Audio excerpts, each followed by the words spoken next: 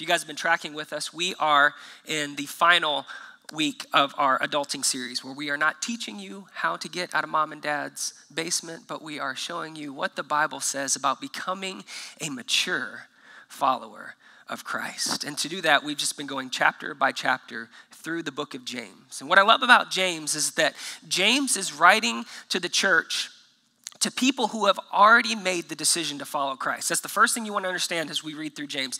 James is not giving you the recipe to say if you do A, B, C, then you can be saved. How many understands that salvation is the free gift of grace from God through Christ Jesus, his son? You guys believe that with us? We're all on the same page? Good, you're welcome to stay here then.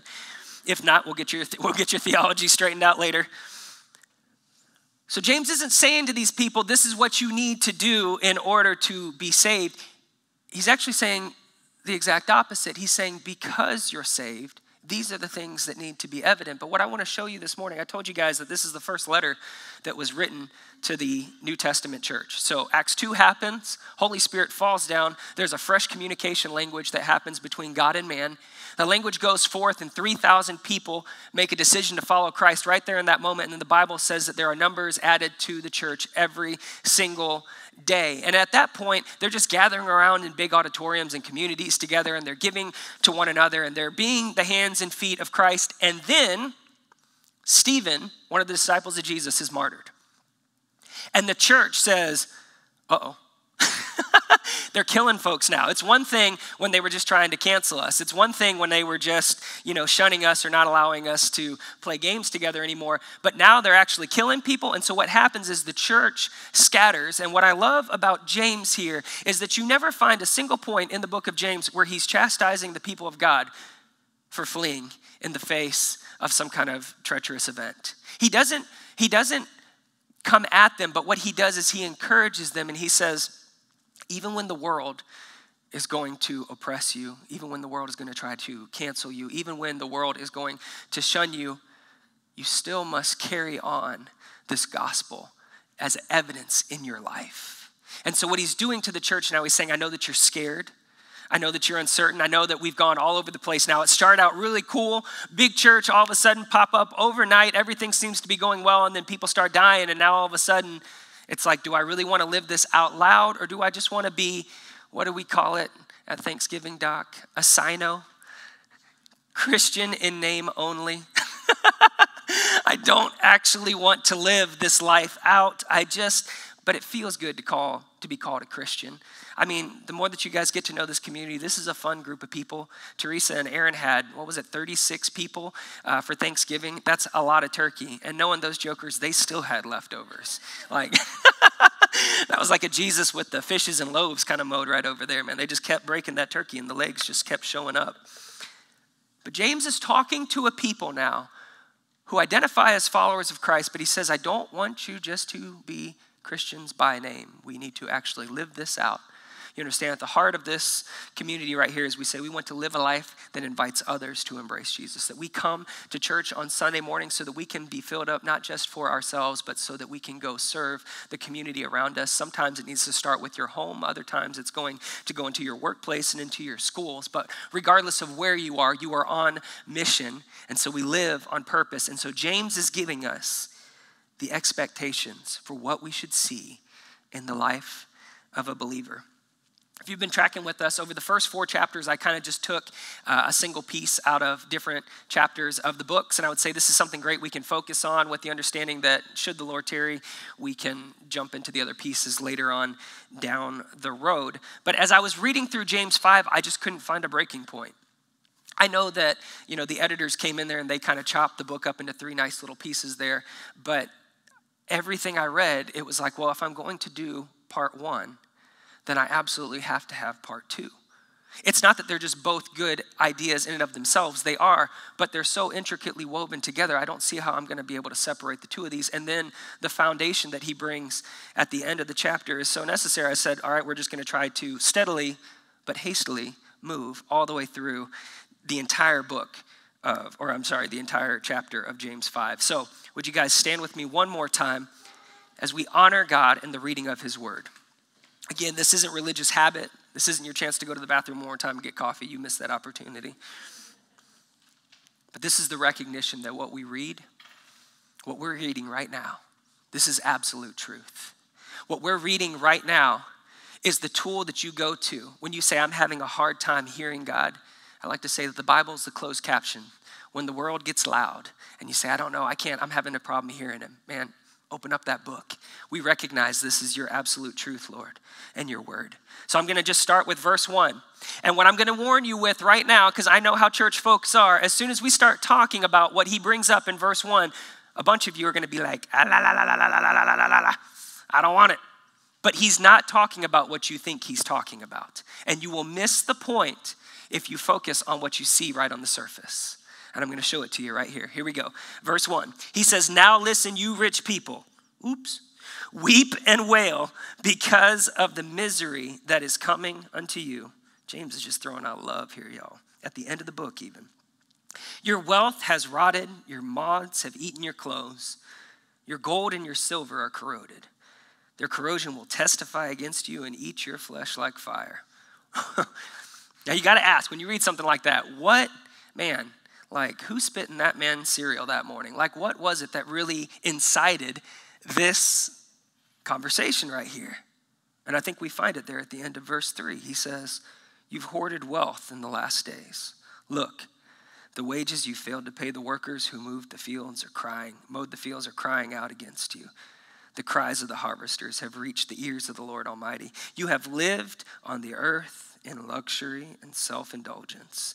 You fattened yourself in the day of slaughter. Right after Thanksgiving, man, Meredith's talking about being fat. Come on, let's pray. Holy Spirit, if they just hear me, they're not going to get a single thing. Oh, but God, if you speak, if we hear not just the words of a man, but we hear the voice of the one that calls us by name, the voice that does more than just speak, but there's actually creation that's happening as you speak. Create in us a clean heart, Lord God. Create in us a new mind. Renew the spirit that you've placed within us, Lord God. As you speak, Lord, we invite you to come. We ask that you speak. Your servants are listening. Amen. Amen. You guys may be seated. I want to say to you again, he's not talking about money here. Money is just the evidence of what's the deeper issue in this moment right now. Because we understand throughout the word, there's plenty of people that are celebrated for the wealth that they have. Abraham and Lot, they literally were so loaded that they couldn't live too close to one another because just their possessions would overtake the land and it was never held against them. The wealth isn't necessarily guaranteed for the believer. It's not like, well, if I love Jesus, then I'm going to be a millionaire. But it should never be looked down upon as, wow, what's that person doing with all that money? If they really love Jesus, they'd be broke as the rest of us. Because you see what what he says in Deuteronomy 15, 6, he says, The Lord's going to bless you as he has promised, and you're going to lend to many nations, but you will not borrow from any of them. Come on, I say again that for the believer, as they walk in the blessing, they don't have to live in poverty. They don't have to be owned by the things that they own. He actually says that it's a good thing when you are blessed that you do not have to borrow, but you are actually blessed in abundance so that you can lend to others. He's not talking about wealth. He's not talking about wealth. But he is talking to us because he says, Listen here, you who are wealthy. And you say, I'm not wealthy. No, you actually are. I think somebody said in our Bible study this past week that if you make more than $30,000, that you're like above the one percentile in the, in the world. I think we're all pulling in more than about 30K a year. Hopefully, if not, we will lay hands on you and believe God for a great job in your life. But honestly, um, but yeah, $30,000 or more and you're in the top 1 percentile of the world, he, but he's not, he's not talking about wealth. It's not a matter of how much you bring in. It's really more about the heart of generosity and obedience. Because what we do is we don't live in a biblical principle where we take the first 10% and bring it into the storehouse and give it unto God and live on the 90% as we steward what God has given us. What we do is we actually live on probably about 110%. That I live on all of it and I'll give the church something when I can afford to give it, but really I got to take as much as I can because the credit card's about to get tapped out. Because come on, Pastor, it's December and that's what you do. You know, we just live above the line. So don't think too highly of the self as you're going through this process. Own it and say, God, would you search my heart? Because that's what James is saying. He's saying, Are you Where's your heart at? Do you have the heart of obedience and generosity? Because what you find is that generosity is the natural response of a mature follower of Christ. And I can show you that right there in Luke chapter 19. When Jesus encounters Zacchaeus, we don't get a long story about Zacchaeus, but we know that Zacchaeus, for some reason, Luke found the need to put the man on blast for being of a short stature. And he puts him on blast there. It says, Zacchaeus, we know that he's short. We know that he sees Jesus, and Jesus talks to him. He says, Hey, Zacchaeus, let's go to your house and we're going to eat. we don't know what the conversation is, but it doesn't say anywhere that Jesus chastised Zacchaeus for the way that he spent his money. But what we do see in verse 9, 8 the response of that one who now follows Christ. It says that Zacchaeus stood up and said to the Lord, Look, Lord, here now I give half of my possessions to the poor. And if I've cheated anybody out of anything, notice that's the same thing that James said, right? He said, You've had people work for you and you're not giving them any money and they're crying out against you now. He says, If I've cheated anybody out of anything, then I'm going to pay back four times that amount. And Jesus' response is, He says, Well, that's a good start, but we got a lot to go. No, in verse 9, he says, Today salvation has come unto this house. We don't know everything else that was said, but the revelation of Zacchaeus' heart in that moment to say that generosity now springs forth from my heart. Jesus says, There's one who follows me. I can do something with the, because again, if you just put it about money, then you say, Okay, here you go, Pastor, shut up, take my 10%. But if you have a heart of generosity now, it's not just about my money, it's about everything that I do. It's about my time, it's about my talents, it's about my love, it's about my words, it's about everything that I allow to take my attention. It's am I being generous with it or is it all about me? There's a difference between generosity that the world offers and the generosity that we find in the Word of God because it's not just about generosity, but it's about obedience. Because a lot of times what we do is we like to give of our time, our talents, and our resources in conjunction with, again, how we feel. That's how, that's how the world works. You know, giving is a good tax write off. Giving makes you feel good. Giving can be a strategic tool to get favors later on down the road, but that's not what we find when the Bible talks about generosity and giving. It's not just about helping out those that have helped you, you know, eye for an eye kind of thing. We can definitely lean into that, especially when we start talking about offerings. There's a place for that. But the tithe, the tithe is not something that we get to hold on to. It's just something that we freely release unto God and say, Lord, I'm giving this into the storehouse. I'm giving this into your church, and I'm trusting you with everything else. It's not just about the generosity, but it's about the obedience. And what you're going to find is, is if you need to have generosity and obedience in your life, then we run into the second thing that James addresses here, and that word is patience. I told the prayer team this morning, I said, if somebody told me I only had five minutes to talk this morning, the thing I would want to focus on more than anything is the patience. There's power when we learn to wait on the Lord. When you live on 110%, you don't have time to be patient. You got to run and run, and you better get a side hustle, and you better get a couple scratch offs, and you better do whatever it is that you can to get a couple extra dollars because you ain't going to have enough. I don't have time to be patient. But James comes in and he hits right between the eyes. And he says, Watch, watch here in verse 11. He says, As you know, we count as blessed those who have persevered. Now that hits different because I'll tell you what, I don't know about you guys, but in church, we look towards the guy that has the pop up church that hits a thousand within the first six months. That's the guy that you say it's blessed. We look towards the business owner that says, man, as soon as they got going, they got a building, they got all the things they needed, they went public with their stock, and now they're just sitting fat and happy in Miami, living their best life while somebody else works their thing, and it only took them two years to do it. You know, that guy just got on the dating scene and he's already got this fine looking honey. Come on, I got, got an amen back there from Matthew. That's blessed. He didn't have to wait for nothing. Man, because surely, right, blessing would just be instantaneous. But James says we count as blessed those who have persevered, who have heard of, man, then he, then he takes it to a whole nother level. Job's perseverance. Not just those who wait, but those who are waiting in some mess and have seen the Lord fully uh, and have let me say it right. You have heard of Job's perseverance and have seen what the Lord finally brought about. It wasn't a quick thing, but it was learned through patience. It says the Lord is full of compassion and mercy. See what you got to understand about Job. I don't have the time to go through it all, but day one starts with him losing all of his kids and all of his possessions. Shortly thereafter, his body is riddled with sores, and he is left with a nagging spouse. I heard a comedian say, I have not fact checked this, so don't quote me, but I heard a comedian say that, you know, Hitler fought the world for six years. And then history shows that he got married and moved into a bunker, and within 24 hours, he killed himself. Come on. Job was learning some perseverance. that was for dad. Learning perseverance through the process. It wasn't instantaneous. Loses the family, loses all the possessions. He's left sitting on a dung pile, scraping his sores, and his wife is nagging him.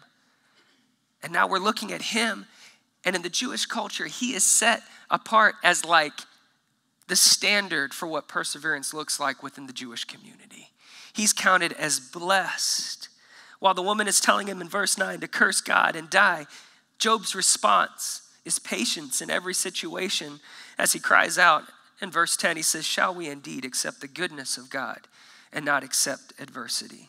You see, what Job is tapping into here in the area of patience is patience helps us as followers of Christ move to a place where we're no longer entering into a transactional relationship with Jesus.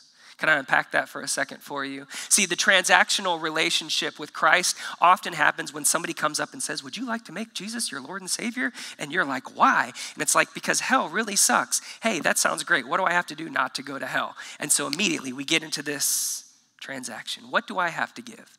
Well, it starts out that God gave his son for you. So now we need you to give this measure of obedience and goodness unto him. And then in exchange for that, you're going to not have to go to hell. And that sounds like a nice thing. And that's absolutely what the Bible teaches. But again, that's not the heart of what God was going after. It was about a relationship, not about a transaction. And so what happens is, is that as we move further down this line, we don't always say it like this, but what we think in our mind is, I've given a lot, and now I'm ready to ask God for something else. Because the heaven thing sounds good, but to be honest, I'm still in my 30s. I'm not planning on dying anytime soon, and I could use some things right now. And so I'm going to play some games and see if I can do some things so that I can manipulate God to give me some extra things that I want, and not just at God's convenience, but I want it and I want it now. I want it all and I want it now. And Job says, Are we going to just accept God when He gives us the good things and reject Him when adversity comes? He's coming right at the heart of this transactional relationship. He goes deeper in verse 21. He says, The Lord gives and He takes away. Blessed be your name. In Job 13, 15, he says, Though he slays me, still I will hope in him. You know, it sounds a lot like the marriage vows, right? That we get into the marriage vows and it says, you know, I'm here to have and to hold you from this day forward. You guys said it before for better or for worse, for richer or for poorer, for sickness and in health, to love and to cherish until death do us part that relationship with God, it wasn't about God, if you give me, then I'll give you. And you started out giving something, so I'm going to give you in response. It's saying, God, I'm going to be here for you when the days are the best days of my life. And I'm going to be here on the worst days, because even on my worst day, it's always better with God. For richer or poor, it doesn't matter what the bank account says because my God provides for all my needs according to his riches and glory. He owns the cattle on a thousand hills, and I know that I will never see the righteous forsaken or the seed begging for bread. His goodness and his mercy will follow me all the days of my life. So, richer or poor, it doesn't matter what I see right here because I know that my God will provide. I just have to be patient. In sickness and in health, Come on, I told you guys, it might be a little weird but I'll own it. If I'm going to wake up and sound like Kermit the Frog, I'm going to worship him through the process. Because here's what I understand I only get to do stuff like this this side of heaven. When you get into heaven, there's a new body, there's no sickness, there's no crying, there's no pain, there's no uh, sorrow, there's no more uncertainty. We're just worshiping Him in an open heaven, freely getting to see Him, and it's going to be an amazing day. But this side of heaven, we're now in this unique position where if we will wait upon the Lord, we can connect with Him in a way that we will never be able to connect with Him in heaven. And that is in the midst of our pain. It's in the midst of the uncertainty. Can I go as far as to say, learning to connect with God in the area of patience so that we can worship Him even when He says no? God, I will still trust you. Though you slay me, still I hope in you. You are everything. Our patience, it's built through the heart of surrender and the heart of obedience. If I'm going to be generous, that means that I can't take everything that I have and give it towards myself.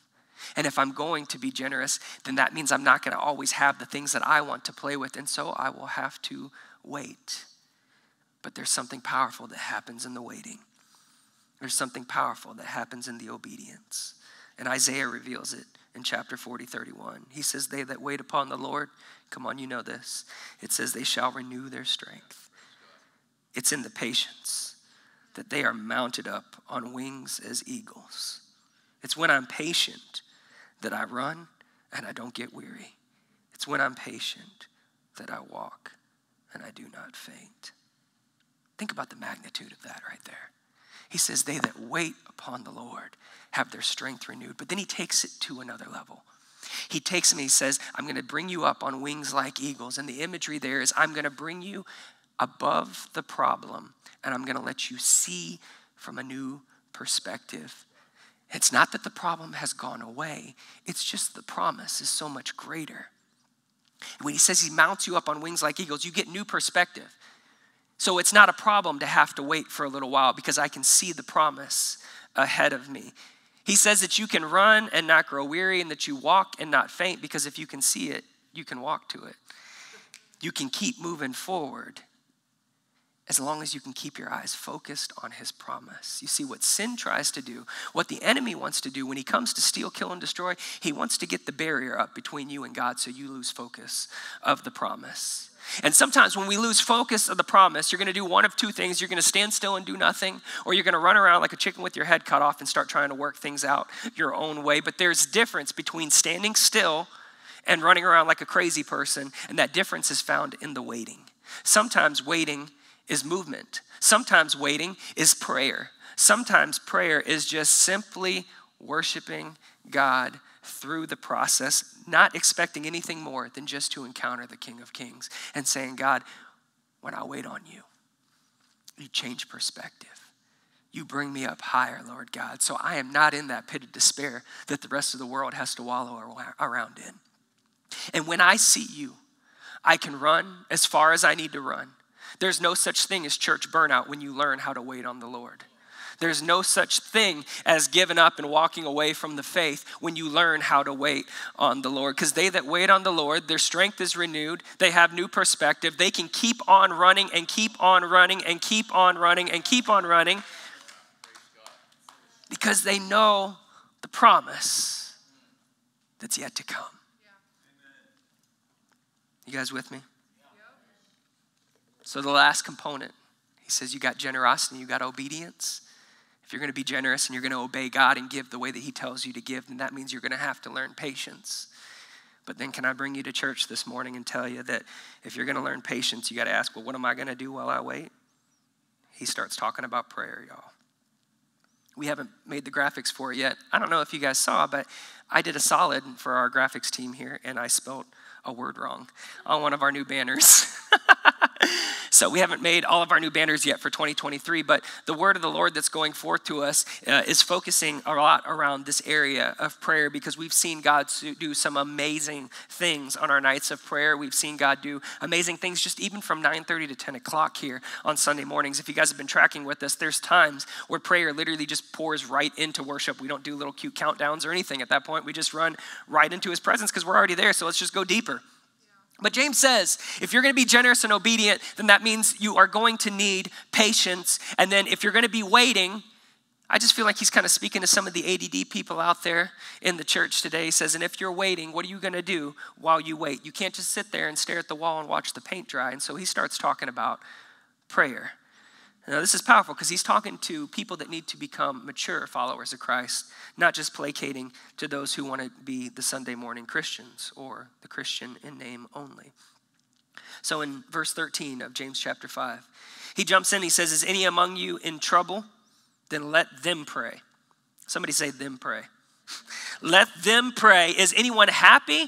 Then let them sing songs of praise. Is anyone among you sick? Then let the elders of the church pray over them and anoint them with oil in the name of the Lord. And the prayer offered up in faith will make the sick person well. The Lord will raise them up. If they have sinned, they will be forgiven. Therefore, confess your sins to each other and pray for each other. Do you see the community here, y'all? You see how you can't be a little closet, closet Christian all alone? Because he's telling you when you're in a certain measure of trouble here, you need someone else. He says, therefore, you can confess your sins to someone and each of you, and they will pray for you, and then you will be healed. For the prayer of the righteous person is effective. I love the way he starts that because he's talking to a mature follower of Christ. I have a two year old, I have a five year old, and I have an eight year old. Believe that or not. Somebody was showing me a lot of love this morning and they thought I was 27 years old. They saw like my middle child walk in and say hi to me. He's like, That was your kid? Thank you for making me feel good. Anyways, I'm not 27, I'm 28. Anyways, he starts in, he says, Are you in trouble? He doesn't say go run to the pastor. He doesn't say go blast it on Facebook. He says pray for yourself. I was telling you, I got a two year old, a five year old, and an eight year old. There's very little expectation of the two year old, especially when it comes to eating food. It's just if she gets it in the mouth, it's a win. I don't know why it has to start with the forehead and work its way down to the nose and then into the mouth. But when it's in the mouth, that's a win. We don't expect her to buy it. We don't expect her to prepare it we barely expect her to get it from hand into mouth. A lot of times, Lauren's like, this one's messier than I'm willing to battle with, so I'll eat later. I'm just going to feed the child. The struggle gets real. But he says, You're a mature follower of Christ. You're not a baby.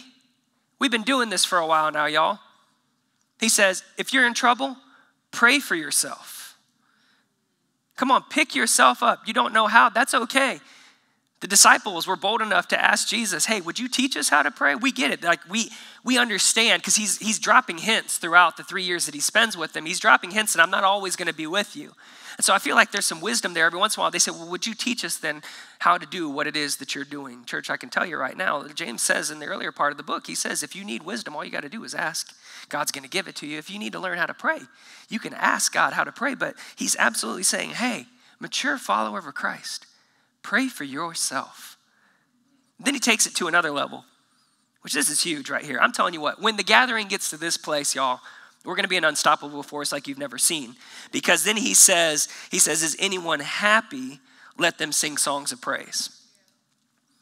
Now, when I read that, what I saw was the image of a follower of Christ and anytime that we get smacked down on our back, if you guys watch UFC, you know, there's guys that do the ground and pound game and stuff like that. And I just got this picture of the church is way too comfortable fighting on their back.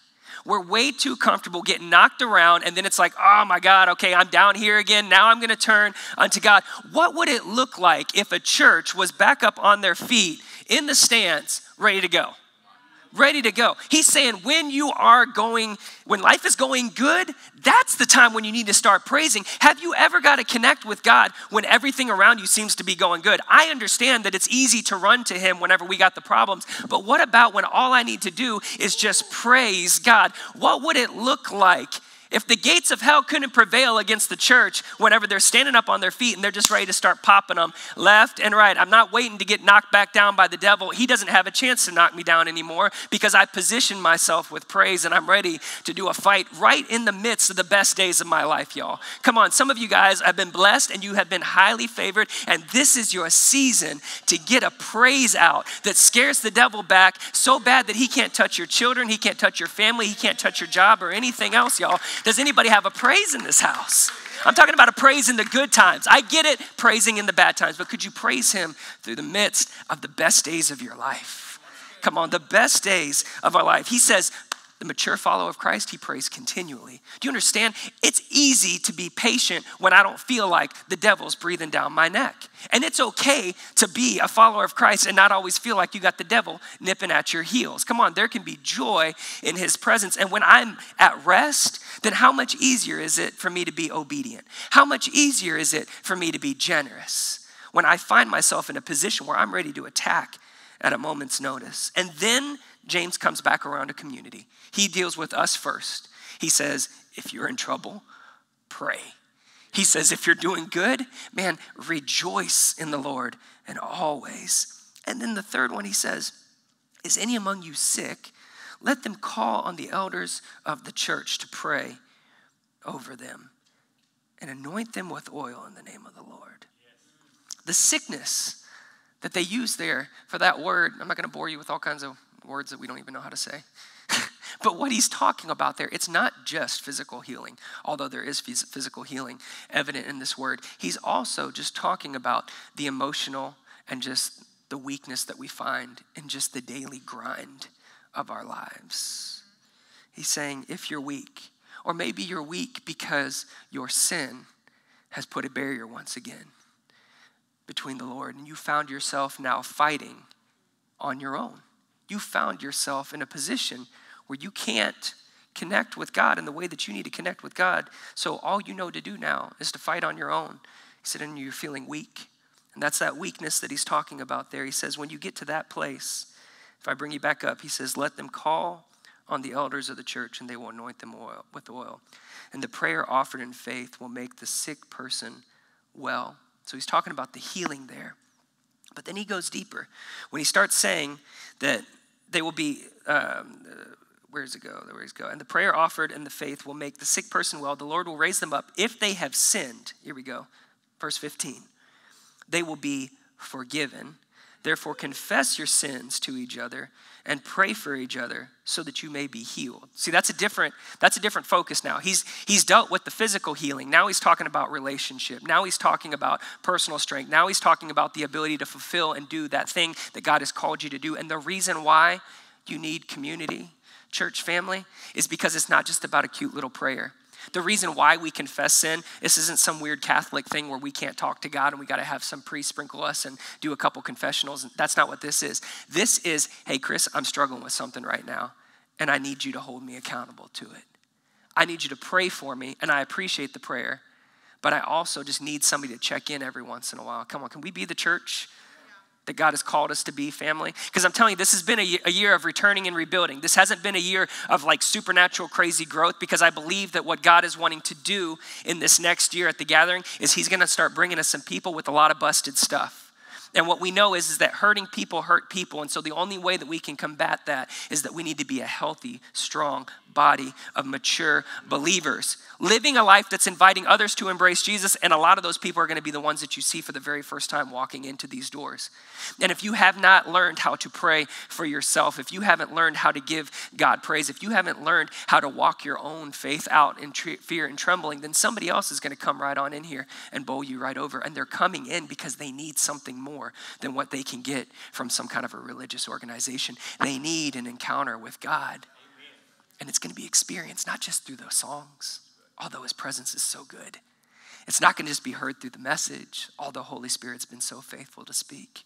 It's going to be seen in your hands and your feet, in the words that you speak. I want to see a church that rises up and understands that they carry the voice of the Father, the voice of the one. We are the ones that are the voice crying out in the wilderness, making way for the king to come. Come on, if it's just Lauren and I doing this thing, it's not going to ever work, y'all. But when the body of Christ comes together and takes ownership of the call that they have on their life, there's nothing, nothing that's impossible for our God. There's nothing that's impossible. He says, Come together. We'll lay hands and we're going to see the sick healed. Come on up, Mom. We're going to lay hands and see the sick healed. He's going to heal the brokenhearted. Come unto me, all you who are heavy laden, and I will give you rest. In your presence, God, there's fullness of joy. Come on, church, would you stand to your feet and let's just begin to talk to Jesus right now? Come on.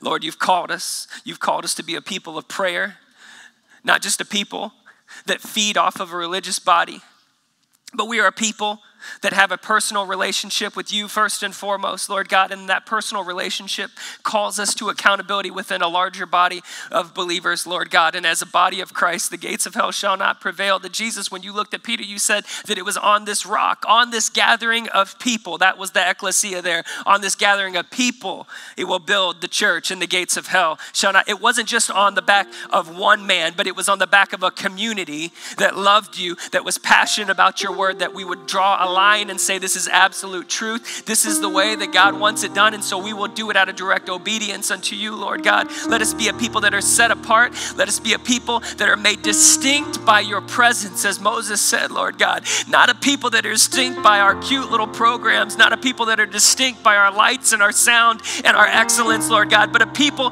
that are distinct because of the presence of the Most High God. That those who are longing to see something more than what they can find within themselves, I'm not interested in the works of a man. Lord God, I want you and I want you alone. You alone can satisfy the longings of my heart, Lord Jesus. I've tasted and I've seen of the goodness and I want more. Come on, we're calling out, I want more. Jesus, give us more. More of you, Lord God.